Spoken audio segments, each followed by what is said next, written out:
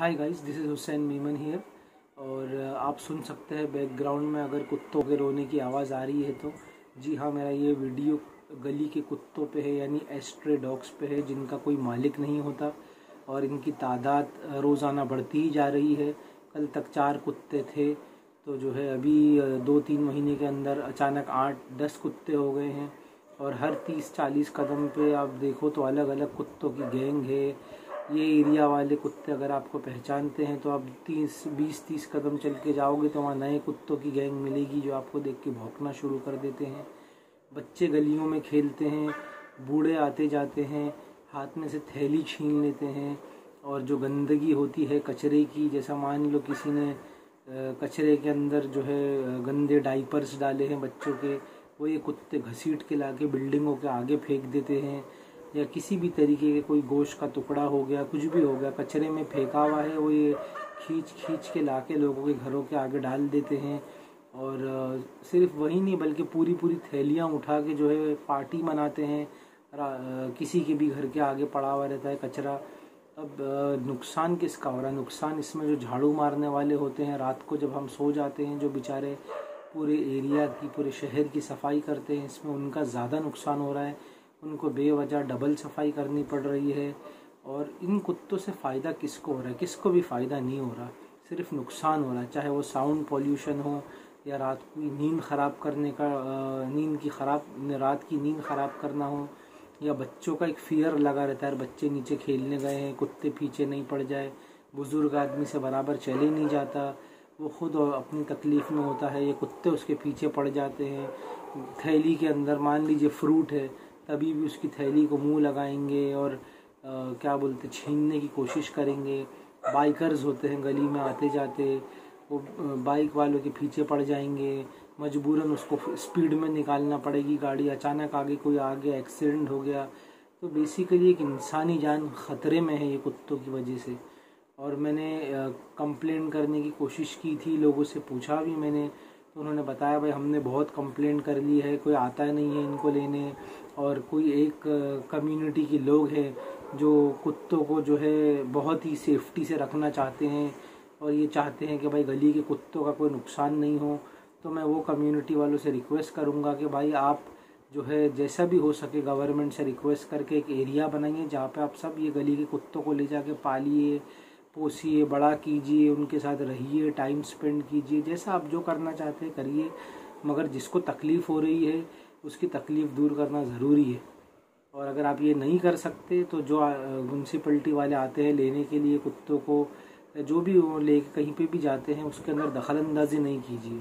क्योंकि रात के पौने तीन बजे अगर ये कुत्ते इसी तरीके से भोंकते रहे तो सुबह में छः बजे, सात बजे, आठ बजे जो ऑफ़िस जाने वाला आदमी है वो क्या अपनी नींद पूरी करेगा और क्या ऑफ़िस का वर्क प्रेशर झेलेगा? फिर वहाँ से आने के बाद शाम को घर का प्रेशर झेलो और रात को सोने भी नहीं मिल रहा। और फिर आप बोल रहे हो कि अरे यार, आजकल तो एसिडिटी की बीमारी बहुत आम हो गई है कैंसर बहुत आम हो गया है और वीकनेस लोगों में बढ़ गई है डिप्रेशन बढ़ गया है नर्वसनेस बढ़ गई है।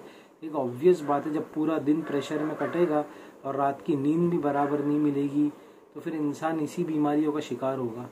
और बेसिकली दूसरी बात मेन इम्पोर्टेंट मोस्ट इम्पोर्टेंट सवाल ये है कि भाई ये कुत्तों से क्या फ़ायदा हमें?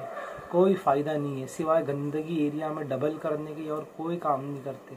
बच्चों को डराने के, बच्चों पे हमला करने का, बूढ़ों पे हमला करने के अलावा ये कोई दूसरा काम नहीं करते।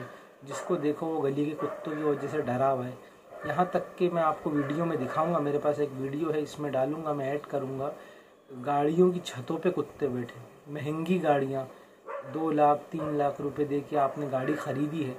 देखो तो आप उसकी छत पे कुत्ता बैठ के उसमें डेंट बना दिया, आगे बोनट पे बैठ के उसमें डेंट मार दिया, दो कुत्तों की लड़ाई हुई और कुछ स्क्रैचेस लग गए। अब फजूल का पैसा गाड़ी वाले का भी जा रहा है वो डेंट डेंट बनाने में या वो उसको वापस से थोड़ा सा पेंट करने में। ये सब चीज़ों का मतलब सिर्फ़ इंसान का लॉस ही हो रहा है। चाहे किसी भी मज़हब का आदमी हो, उसका लॉस ही हो रहा है। किसी का फ़ायदा नहीं हो रहा। कुत्ता मज़हब देख के नहीं काटता, कुत्ता मज़हब देख के पीछे नहीं पड़ता। ये गली के कुत्ते हैं, इनका कोई फ़ायदा नहीं गली में रख के। उससे अच्छा ये है कि गवर्नमेंट या म्यूनसिपलिटी कोई सहूलत बनाए इनके लिए, जहाँ पे ये ले जाके उनको रख दे, वहाँ पे इनको खाना भी मिले, पानी भी मिले, और वो सुकून से अपनी जो इनकी जो कम्युनिटी है, कुत्तों की कम्युनिटी उसके साथ सुकून से रह सके। जो इंसानों की कम्युनिटी है, उसके अंदर इन्होंने आतंक मचा के रखा है। एक एक गली के अंदर से आप गुजरो तो बारह बारह कुत्ते निकलेंगे। दस से बारह कुत्ते तो हर गली में ऑलमोस्ट होंगे ही आपके सामने। और फिर बाद में होता ये है कि इंसानों पे ब्लेम कर दिया जाता है कि भाई, आप गंदगी बहुत करते हो, ये करते हो, इसीलिए कुत्ते आते हैं। इंसान जहाँ होंगे, वहाँ पे कचरा तो निकलेगा ही। आज तक कोई ऐसा खाना नहीं बना दुनिया में जिसको बनाने के बाद कचरा नहीं निकले। और वो कचरे को निकालने के लिए, फेंकने के लिए जगह चाहिए। अब तो ऐसा हो गया कि भाई म्यूनसिपलिटी भी एक टाइम पे आती है और फिर चली जाती है। और मान लीजिए आपका जो है घर में बड़े बुज़ुर्ग हो, आपका आप ऑफ़िस चले जाते हो, गाड़ी टाइम पे, जो टाइम पे गाड़ी आती है, उस वक्त गाड़ी के अंदर कचरा देने वाला कोई नहीं होता। और दूसरी चीज़ ये भी है कि वो गाड़ी को कचरा देने के लिए कुछ लोग खिड़कियों से पाँच पाँच माले से चार चार माले से, गंदी थैलियाँ, कचरे की थैलियाँ पंद्रह पंद्रह मिनट से लटक रही है, बीस मिनट से लटक रही है हवा के अंदर गंदगी हो रही है एयर पॉल्यूशन हो रहा है। जब वो गाड़ी वाला आएगा, तब वो गंदी थैली वहाँ से लटकी हुई थैलियाँ जो आजकल अजीब सिटी के अंदर माहौल हो गया है कि खिड़कियों में से और पाँच पाँच, चार चार मालों पे से ऊपर से नीचे थैलियाँ छोड़ देते कचरे की रस्सी से बाँध के, या डोल जिसको बोलते, या बाल्टी बोलो बकेट बोलो, उसमें डाल के। तो ये गंदगी एक अजीब चीज़ हो गई है शहर के अंदर। तो मैं म्यूनसिपल्टी से भी या किसी पार्टी वर्कर से भी जो ये चीज़ें के अंदर एक्सपर्ट हो, उनको पता हो कि भाई प्रोसीजर क्या है तो उनसे ये रिक्वेस्ट करता हूँ कि प्लीज़ आप ये जो तकलीफ़ लोग झेल रहे हैं बिना वजह की, जो हमारी ज़िंदगियों में ज़बरदस्ती की आ गई है, पहले ही इतनी तकलीफ़ें लोग झेल रहे हैं, बर्दाश्त कर रहे हैं तो प्लीज़ आप ज़रा कुछ कीजिए ताकि ये कुत्ते जो हैं, जो किसी को कोई फ़ायदा नहीं पहुँचा रहे, सिर्फ़ गंदगी को डबल कर रहे हैं हर एरिया के अंदर और लोगों को काट रहे हैं। कुछ लोग गिर के जो है अपनी कमर की हड्डियाँ भी तोड़ टूट टूट गई है बुज़ुर्गों की बाकायदा। कुत्ते उनके पीछे पड़े, वो भागने की कोशिश किए और उनके जो है तकलीफ़ वाले जो उनके घुटने थे, पैर थे, उनसे भागे नहीं गया, वो गिर गए।